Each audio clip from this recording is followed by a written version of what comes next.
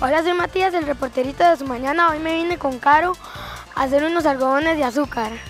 ¿Cómo estás, Mati? Bien. ¿Qué dicha?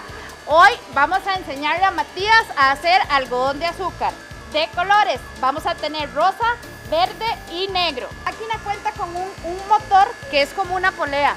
Dentro colocamos el azúcar y a la hora que él calienta empieza a tirar hilos de azúcar.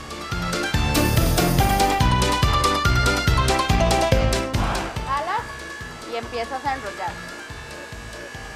Te vas, te vas ayudando aquí con el borde.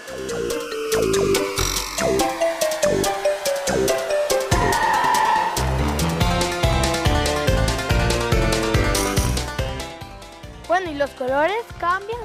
¿Cambian de color y saben igual? Eh, no, cada color tiene su sabor. Viene de diferentes, de diferentes sabores. Tenemos de fresa, de limón, de mantequilla, así que es cuestión de gusto.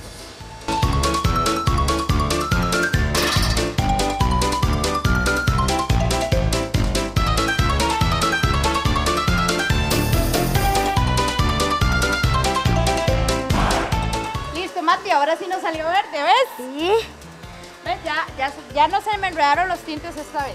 Sí. Mati, ¿vos has notado que los algodones empiezan como a cristalizar, como a llenar de puntitos de agua? Sí, a ¿Quieres ver. saber por qué? Sí. Si hace mucho calor, se va a cristalizar. Y si hace mucho viento, también se, se, empieza a cristalizar. Por eso es que en muchas actividades y en las ferias más que todo, encontramos los algodones empacados en bolsas o en envases transparentes.